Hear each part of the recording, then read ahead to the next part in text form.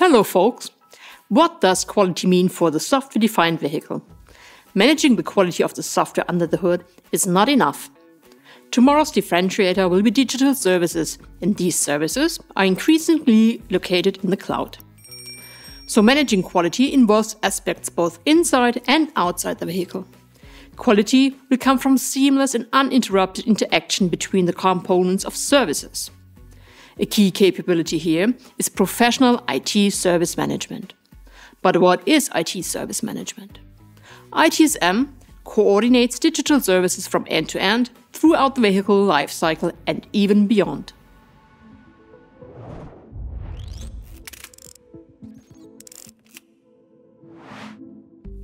My name is Barbara Glasbrenner Schulz. I'm an experienced consultant and trainer at UL Solutions. My expertise in quality assurance covers all aspects, from requirements management to reliable processes and projects to proper implementation in systems. Within UL Solutions, I am involved in our community of practice for IT service management, and I'm a contributor to the intacs working group on this topic. In this video, I show you why you cannot achieve and maintain the reliability and attractiveness of the software defined vehicle without a professional management of IT services. Let's move directly to a practical example. Imagine a very cold winter morning, somewhere in the suburbs. As on every weekday, Bob wants to drive to his office downtown. As usual, he tries to open the car door remotely with his car key, but today nothing happens. Bob can't access his own car. Using the smartphone app on his phone, Bob tries to get information on how to open his car without the key, but the app only reports an unforeseen error.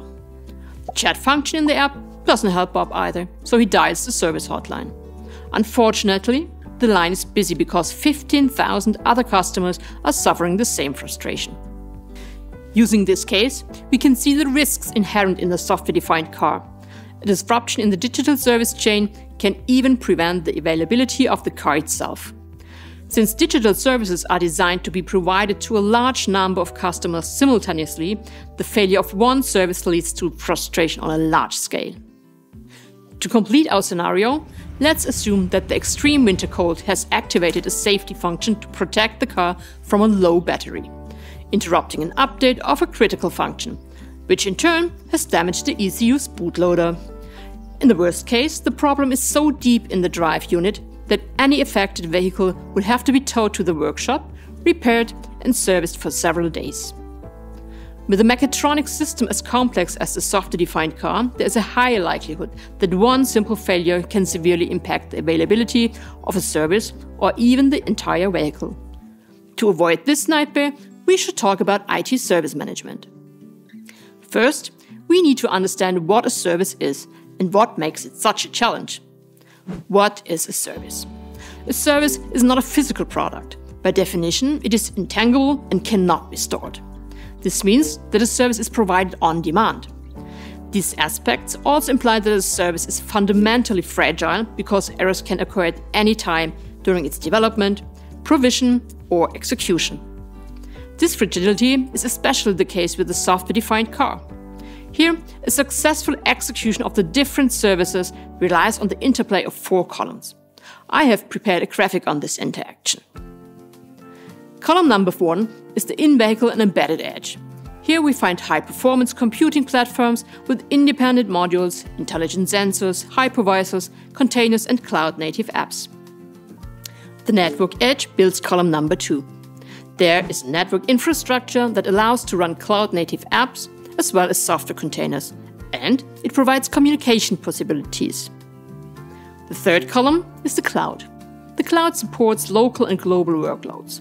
It usually relies on shared data centers and consists of containers with virtual machines. Finally, column number four is the premise of the service provider. This is the backbone of a service.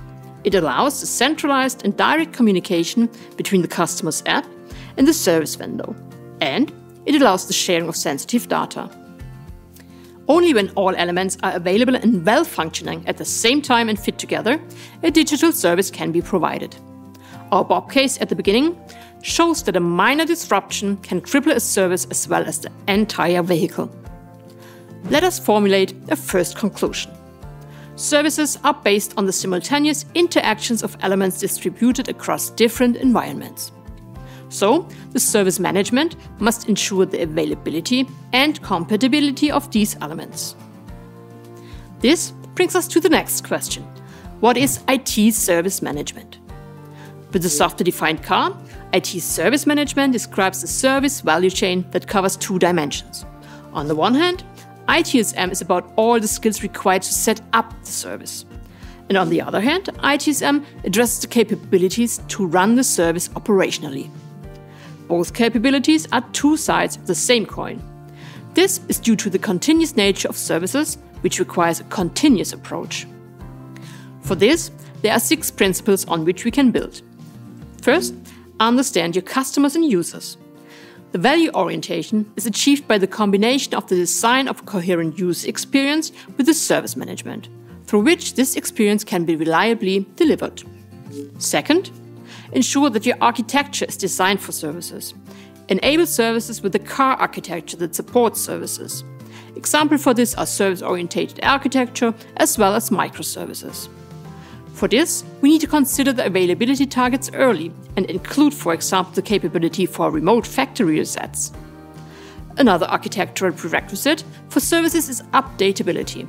My colleague Janine has prepared another video on this topic. Third, establish close cooperation between development and operations. Use such software and service development concepts that incorporate maintenance and operations. Examples of this are DevOps or site reliability engineering. Fourth, establish end to end event management and monitoring as early as possible. This principle is elementary for seamlessly linking and coordinating components and activities. The sooner this happens, the sooner expensive errors can be avoided. Fifth, arrange for holistic service continuity management. This again involves all stakeholders throughout the service chain so that the service can be reliably set up and obstacles can be removed at an early stage. Sixth, get feedback as soon as possible. Establish short development cycles and ask your stakeholders for feedback on a regular basis. To achieve this responsiveness, install a high degree of automation as well. With these six principles, you create a continued approach that creates customer value and safeguard the delivery of this value. ITSM is comprehensive because it addresses your business goals, stakeholders, processes, functions, suppliers, as well as your organization. With these insights, we can formulate our second conclusion. ITSM describes the skills required to provide high quality digital services over the entire service lifetime. This brings us to some final considerations. How can you tackle IT service management? The principles we have worked out can be transferred into an operational model. The best known model for this is ITIL. I will show you its core elements in this graphic. First, service design. Second, service transition. And third, service operation. These three elements are based on a service strategy and are wrapped in a continuous improvement and learning process. Using this model, the various management tasks can be structured and controlled. The ITIL model was originally designed for classic service tasks in IT. However, the applications in the software defined vehicle with connectivity and the link up of numerous edge applications require some special considerations. This is where the SPICE for IT services model comes in. This process reference and assessments model provides good practices for several processes. The latter include relationship and agreement. This topic is on business operations of both parties, customers and suppliers. Supply and demand. Here, the operational resource management is addressed. In resolution and fulfillment service operations, support and assurance are negotiated.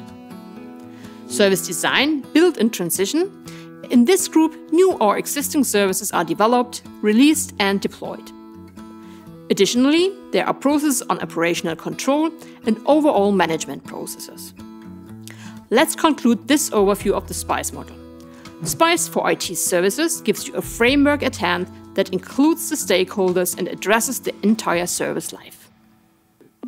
That was my overview of IT service management in the automotive industry.